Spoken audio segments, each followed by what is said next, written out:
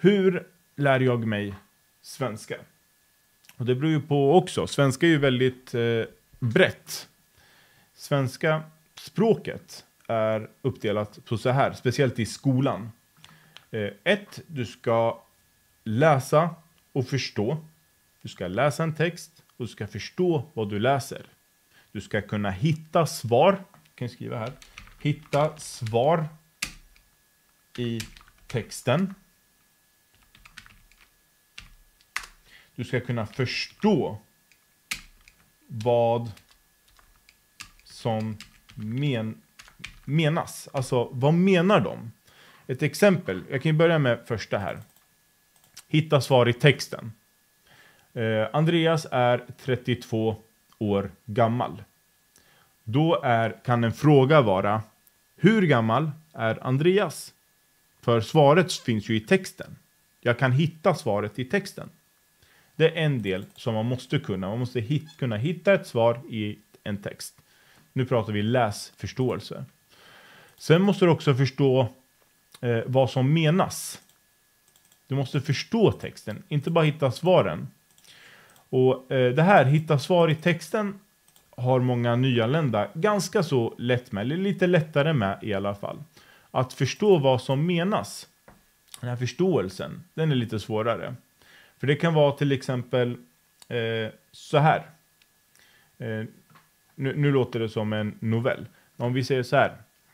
Eh, det kändes nästan som att det skulle komma glöd ur mina öron.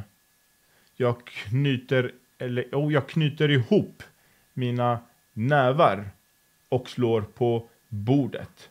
Jag förstår inte hur han kunde säga så.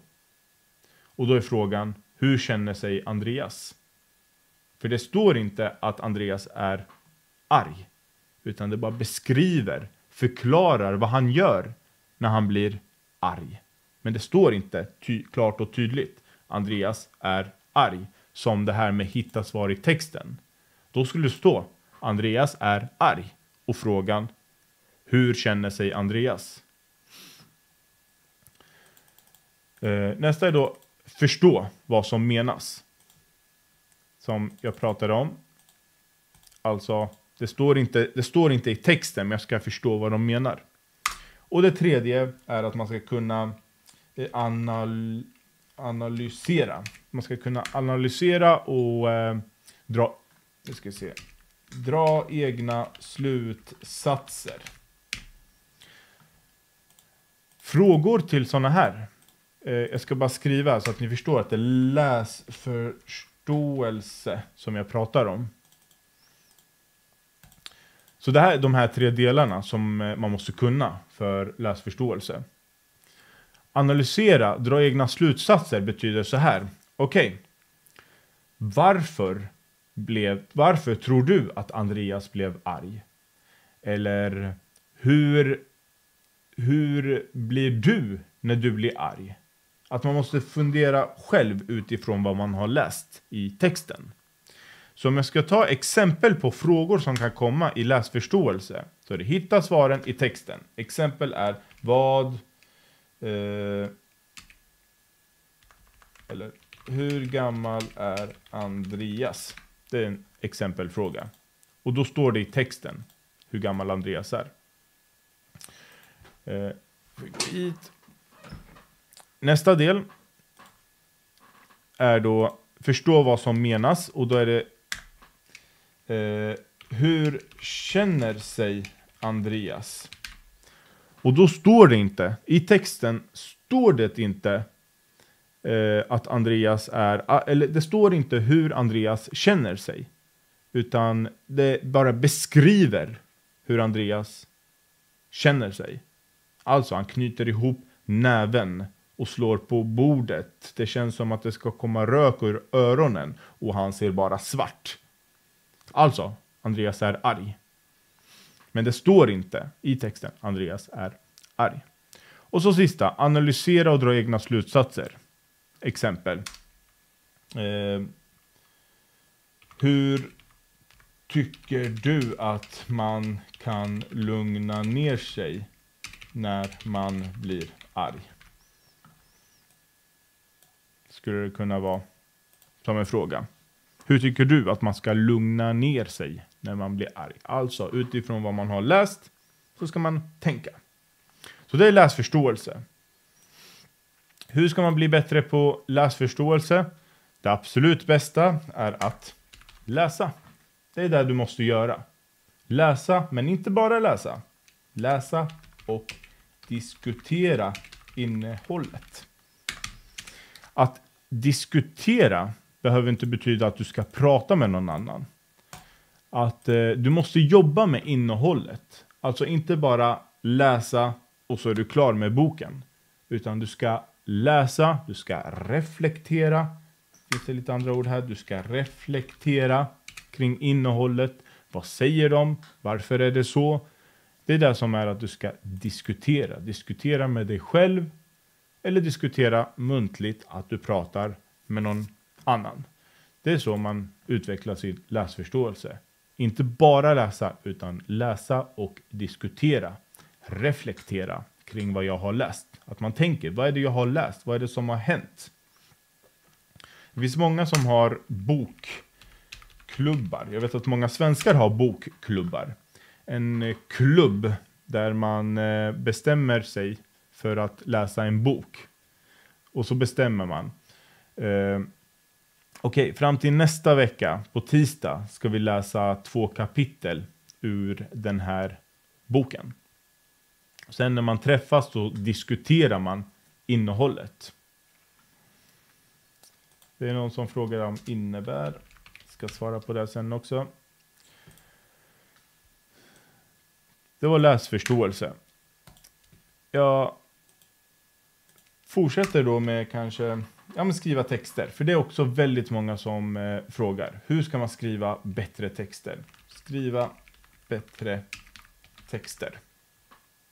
Hur ska man göra det? Jag suddar bort den här. Eh, för, det, för det första så finns det olika texttyper. Texttyper. Och det är det svenska handlar om. Eh,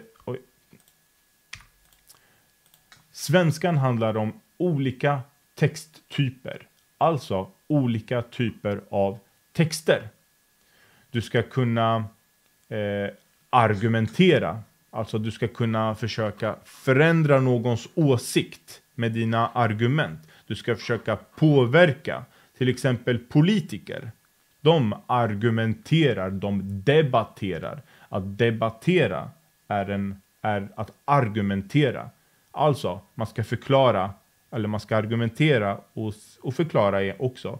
Varför är mina förslag, varför är mina råd bättre än dina? Det är att man ska argumentera. Så både, du ska både kunna argumentera muntligt och du ska kunna argumentera skriftligt. Det är därför nästan alla som, måste, som går ut SFID måste kunna skriva en insändare. Helst ska man också kunna argumentera muntligt till saker man tycker. Det är därför det står till exempel eh, på SFI när man ska göra muntligt prov. Eh, det är bättre att använda dator än en mobiltelefon. Och så ska du argumentera. Vad är bäst? Att använda en dator eller mobiltelefon? Och där lyssnar läraren på dina argument. Att du argumenterar. Och det här är bara en texttyp. Och eh, med de här olika texttyperna har som en checklista. Alltså, vad måste, vad måste finnas med i din text? Eller vad måste finnas med i din eh, eh, argumenterande... När, när du argumenterar muntligt en argumenterande presentation, kanske man skulle kunna eh, kalla det. Så om vi, eh, sen, sen, finns det andra texttyper också. Jag kan skriva ner eh, olika texttyper som är eh, ja, alla texttyper egentligen. Det finns några andra texttyper också, men de är mer på universitetsnivå. Så jag säger de här basic, alltså vanligaste texttyperna eh, strax. Så, eh, alla texttyper har ju en checklista. Så vad måste finnas för att det här ska vara en den här texttypen, en argumenterande text. Till exempel, eh, vi skriver här, argumenterande, checklista för en argumenterande text. Vad ska finnas? Okej, okay, det måste finnas en rubrik till exempel som gör läsaren intresserad. Och det är inte bara att man ska bli intresserad. Liksom och alltså. Jag kan skriva ner det också. Liksom och alltså. Eh, Halesgi. Jag, jag, har skrivit ner din fråga. Jag ska svara på den när jag blir klar här. Så ska jag svara på eh, vad skillnaden är mellan liksom och alltså. Så det är som en checklista. Du ska ha en rubrik som gör läsaren intresserad. Och egentligen ska du ha med din åsikt. Vad, vad vill du, inte åsikt, förlåt. Vad vill du ska hända? Till exempel, eh, om, om eh, nu till exempel det här med koranbränningar. Eh, sluta bränna koranen. Det skulle kunna vara en rubrik. Eller om de ska stänga ner en lekplats som dina barn eh, leker i. Så skulle det kunna vara till exempel eh, Stäng inte lekplatsen. Det är det som du vill ska hända. Att man inte ska, inte stänga, förlåt, riva heter det. När man eh, ja, tar bort den. Att man river eh, en lekplats. Det skulle kunna vara en rubrik. Sen skulle det vara såklart en in en inledning som handlar om eh, ja, alltså en bakgrund. Vad är det som har hänt? Varför skriver du? Eh, måste ha din åsikt. Vad tycker du om det? Du ska ha argument. Vad är dina argument? Varför ska vi sluta bränna Koranen? Varför ska vi inte riva eh, varför ska vi inte riva barn eh, eh lekplatsen? Varför ska det här hända? Vad är dina argument? Alltså eh, varför? Eh, Rama Alsib, leva ut. Jag svarar på det strax. Jag skriver ner leva ut. Dina eh, argument. Och gärna motargument. Jag brukar säga så här till mina elever. Det finns, man kan alltid komma med ett motargument. Bara för att du tycker något så betyder det inte att alla håller med dig. Så även om du tycker att något är jättebra så finns det alltid någon som kommer säga varför det inte är bra. Och eh, när jag har haft eh, yngre elever, yngre ungdomar, så har jag försökt att få dem att säga motargument till varför man inte ska spela fotboll till exempel. Jag säger till exempel, kan ni ge, säg negativa saker med att spela fotboll? Och de har jättesvårt att komma på. Alltså, ja, säga vad som är negativt med att spela fotboll. För att det är, man, det är, man, man, har ju många argument till varför man ska träna, varför man ska spela fotboll. För det är det sociala, man, får, man kan få, eh, man får kompisar, man lär sig sociala sammanhang, eh, man kan träna sin svenska, Man kan prata med folk, det är roligt, det höjer dopamin. Eh, och så något, ett motargument. Ja, man kan skada sig. Man kan bryta sina ben. Till exempel. Det är det jag menar, att det finns ju alltid ett motargument. Och det ska man ju också ha med i en, eh, eh i en insändare. Till exempel. Eh, sen ska det också vara ord. Oj, nu går vi för långt ner här. Jag flyttar på mig. Ord som, eller om vi ser här. Eh, det ska vara ett passande språk. Och det är jo, ett passande språk för att argumentera. Man ska till exempel ha ett eh, ganska starkt och känn, nu ska vi se, känsloladdat språk. Det måste vara mycket känslor när man skriver och pratar. Känn, känsloladdat språk till exempel. Och så måste man avsluta det här såklart. Så jag ville bara liksom förklara att varje texttyp, varje texttyp har en checklista. Alltså saker som man måste kryssa för, som man måste checka för att det ska vara en godkänd text. Eller en, att du eh, har argumenterat muntligt för din sak. Eh, så det du behöver kunna är då till exempel, du ska kunna skriva argumenterande texter. Du ska kunna skriva instruerande texter. Som eh, instruerande kommer från, det betyder att man ska kunna ge instruktioner. En instruktion. Alltså antingen vägbeskrivning eller ett recept, mat, hur eh, jag ska baka en tårta, hur jag ska baka, eh, hur jag ska laga mat. Eh, utredande text, exakt. Finns en berättande text. Alltså du ska berätta om något som har hänt eh, förut. Det finns att man ska beskriva något. Till exempel eh, en eh, vulkanutbrott.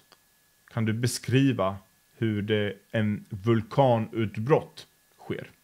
Det är nästan som en faktatext. Så en eh, beskrivande text. Eh, det absolut viktigaste som kommer på alla nationella prov är berättande text. Och nu skriver jag texter här, men berättande text, till exempel noveller. Noveller är jätteviktigt att kunna skriva. Och så en oj, beskrivande text är också en faktatext. Så en förklarande text. Att man förklarar hur något sker, hur något händer. Så det här är de absolut viktigaste texttyperna som följer med från årskurs 1 ända upp till gymnasiet. Och på gymnasiet så kommer det lite extra, det är så utredande texter, man ska kunna skriva PM och olika typer av uppsatser och jämföra och liksom kanske blanda vissa delar också. Eh, ska kunna disku, diskutera. Så det kommer ju andra texttyper också. Men det här är de allra viktigaste.